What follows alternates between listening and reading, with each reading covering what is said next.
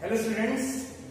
So uh, now we move on to uh, class 9 French Revolution part 2 that. Hopefully आपको first part समझ में आया होगा ढंग से जो क्वेश्चंस थे वो आपने अटेम्प्ट किए होंगे. Now we move to part second the outbreak of revolution आपके बुक में पेज नंबर एट है और uh, जैसे जो मैं बोर्ड पे यहाँ पे लिखा हुआ है इसे आप ज़रूर पॉज करके अपनी कॉपी में नोट डाउन कर लें.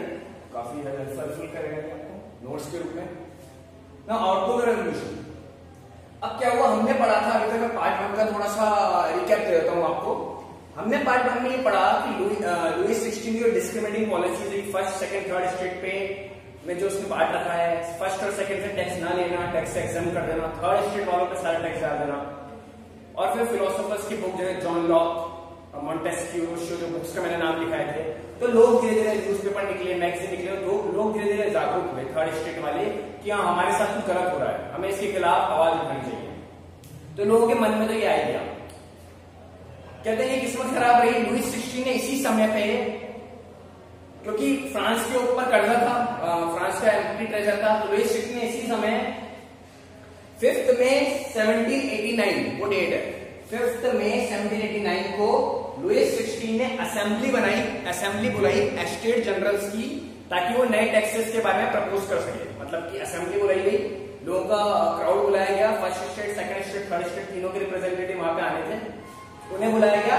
और ये बात करनी थी कि टैक्स और लगाए जाएँगे, किस पे लगाए जाएँगे, कितने लगाए जाएँगे।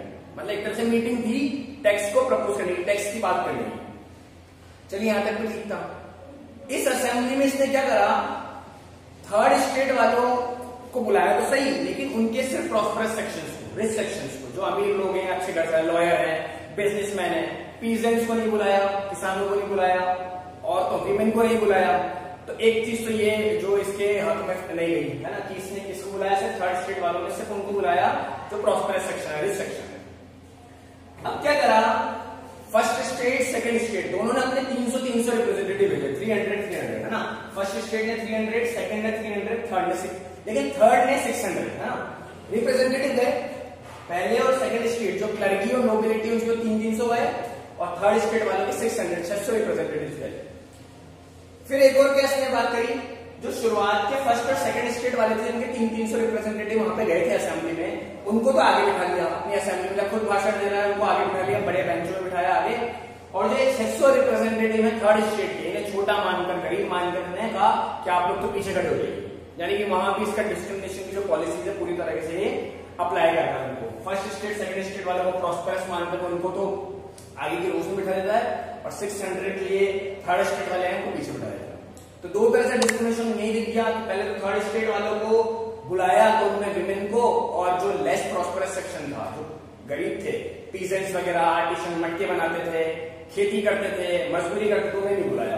दूसरी बात, वो लोग 600 की नंबर्स में आए ये 300 300 आए, उन्हें आगे बिठा लिया फ़र्स्ट स्टेट सेकंड स्टेट वालों को, इनको पीछे खड़ा कर दिया आप लोग पीछे खड़े रहिए अच्छा टैक्स इसको इन पे लगाना है, तब भी इनकी डिस्क्रिमिनेशन कर रहा है। चलिए, अब आगे बात क्या आती है? लुइस सिक्सटीन ने बोला कि मेरे को नए टैक्स लगाने इसने अपनी बात रखी और कल वोटिंग करवा लेते कि भाई कैसे टैक्स लगेंगे, कितने परसेंट लगेंगे, किस पे लगेंगे। लुइस सिक्सटीन ने बोला कि कैसे होगी देखिए आप ये दोनों बातें बहुत इंपॉर्टेंट है, आपके लिए आपको समझनी है। थोड़ा सा अंतर है, मैं मतलब बताऊँगा। लुइस सिक्सटीन ने बोला कि each estate should have one vote her estate के पास एक वोट होना चाहिए। फ़र्स्ट स्टेट के पास एक सेकंड के पास एक थर्ड के पास एक। यानी कि हर स्टेट के पास बराबर के राइट होने चाहिए। नंबर से देख रहा है three hundred three hundred six hundred double तो है। लेकिन उसने तो बोला, एक वोट ये देगा, एक वोट ये देगा, एक वोट ये देगा। तीनों एस्टेट एक एक वोट देंगे ठीक है, ये तो बोला लुइस सिक्सटीन अभी तक ऐसे होता है फ्रांस में, जब भी असेंबली बुलाई जाती थी वोटिंग एक एस्टेट एक वोट देता था। थर्ड स्टेट वालों ने बोला, ऐसा नहीं चलेगा, एक एस्टेट एक वोट नहीं देगा, एक मेंबर एक वोट देगा। दोनों में आप डिफरेंस समझिए। लुइस सिक्सटीन ने क्या बोला कि एक एस्टेट एक वोट देगा।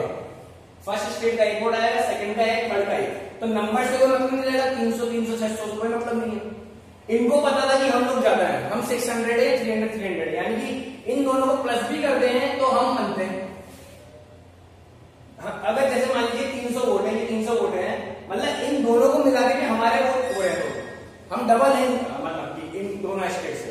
तो उन्होंने बोला कि जो वोटिंग होगी, वो इस पैटर्न पे होगी। ईच मेंबर का एक वोट होना चाहिए। तीन सौ वोट इनके आएँगे, तीन सौ इनके और छह सौ हमारे। क्योंकि इन्हें पता था, अगर ऐसे होगा तो हमारी बात अच्छे से रखी जाएगी, हम मेजोरिटी में आ जाएँगे। ये बात होगी। लेकिन इस कानून के तहत अगर अगर एक स्टेट एक वोट देगा तो फिर तो बात ये हो जाएगी ये इनका है इनका है इनका है। ये दोनों तो क्या करेंगे? बोलेंगे थर्ड वाला ले टैक्स फ़र्स्ट और सेकंड कहेंगे थर्ड वाले से ले टैक्स थर्ड वाले कहेंगे हमसे मत लो, फिर भी ये जीतेंगे। क्यों क्योंकि वन और वन टू और ये वन टू वन से ये जीत जाएँगे। लेकिन अगर मान लीजिए कि अगर टैक्स ऐसा होता है कि एक मेंबर का वोट होता है तो इनके पास अकेले सिक्स हंड्रेड है। ये दोनों मिलाकर सिक्स हंड्रेड है। एक वन मेंबर की इधर से इनकी तरफ़ हुआ तो ये लोग मेजोरिटी इनकी हो जाएगी। तो लुइस सिक्स से डर गया था कि अगर ऐसा हो गया तो थर्ड स्टेट वाले खुद को तो माफ़ करवा लेंगे टैक्स से। और इनको तो मैं प्रिविलेज देता हूँ, उनको तो मैं पूछता हूँ तो इनसे टैक्स दूँगा नहीं। तो बहुत बड़ी प्रॉब्लम हो जाएगी। लुइस सिक्सटीन ने साफ़ मना कर दिया कि एक मेंबर का एक वोट नहीं होगा, एक स्टेट का ही एक वोट होगा। गुस्से में थर्ड स्टेट वालों ने असेंबली को प्रोटेस्ट के रूप में छोड़ दिया। मतलब कि उन्होंने गुस्से में आकर वो असेंबली को छोड़ के चले गए और वोटिंग में पार्ट नहीं लिया। ये यहाँ तक की बात है, अब हम आगे बढ़ेंगे।